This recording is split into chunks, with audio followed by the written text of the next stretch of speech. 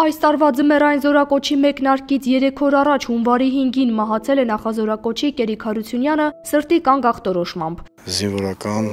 կոմիսարիատի իրականացրած աշխատանքների ճակերտավոր արդյունքում վերջնական արդյունքը սա էր։ Հարազատները 20-ամյա երիտասարդի մահվան մեջ մեղադրում են զինկոմիսարիատին։ Նրանք վստահ են Էրիկը ողջ կլիներ, եթե նրան երկրորդ անգամ բուժզնման ուղարկելու որոշում չընդունվեր։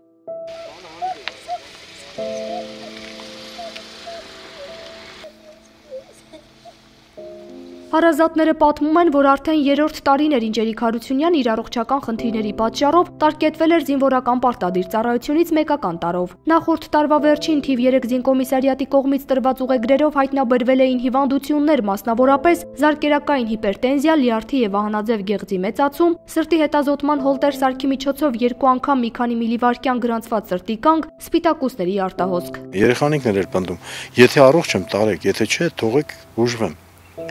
որովհետև ես սրտի ճնշումը միջինը տատանվում էր 170-ից 180 այդպիսի ճնշում ուներ։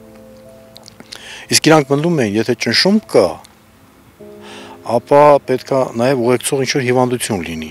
բայց այդ հիվանդությունը մենք չենք տեսնում։ Հարազատների խոսքով զինկոմիսարիատի աշխատակիցների կողմից անտեսվել են Էրիկ Հարությունյանի հետազոտության արդյունքները այն դեպքում, երբ ըստ նրանց իրեն այդ ցուցանիշներով պետք էր անհապաղ ազատել ծառայությունից եւ ուղարկել բուժման։ Սակայն նշանակում են ստացիոնար բուժում մեկուսացված խիստ հսկողության պայմաններում Երևանի թիվ 8 հիվանդանոցում։ Չգիտես ինչի բժիշկներին կամ այդ հանձնաժողովի համապատասխան անդամներին չեր բավարարե ինչ որ իրանք նորից իրենց մեջ կասկածներ են միգուցե ունեցել, որ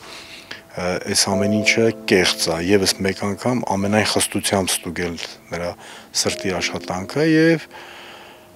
փորձել փորձ են արել Էրիկին ուղարկել 8-րդ հիվանդանոց հերթական բուժ հետազոտման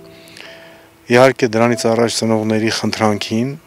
չափազանց լուրջ խնդրանքին, որ երեխան ահավոր հոգեկան ծանր վիճակում է։ Էրիկի հարազատը Սմբատ Շահինյանը պատմում է, որ հերթական բուժզնումից հետո Էրիկը ծանր հոգեբանական վիճակում է հայտնվել, եկել է տուն ու գանգատվել բժիշկների վերաբերմունքից։ Հունվարի 5-ի երեկոյան լույս 6-ի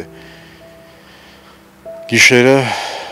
ինքը ամսի 5-ին, որ 8-րդ հիվանդանոցում եղել էր հետազոտման,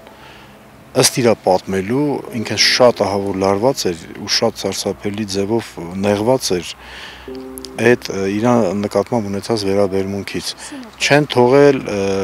սրտի դեղը խմի, ասել են որ սրտի դեղը խմես, մենք քո ճնշումը լիարժեք չեն կարող արձանագրել ասում էր, որ ճնշումը բարձրանում է մինչև 170, դե պարբերաբար անդադ ճնշում է ստուգել, որ արձանագրեն այն նշվածը արդյոք իրականության համապատասխանում արժանավատա թե ոչ։ Սմբատ Շահինյանն ասում է, դատաբժշկական փորձակնության նախնական արդյունքներն արդեն հայտնի են։ Երեխայի մոտ սարսափելի վիճակում էր սիրտը։ Եթե երեխան այս վիճակում այդ պահին գտնվեր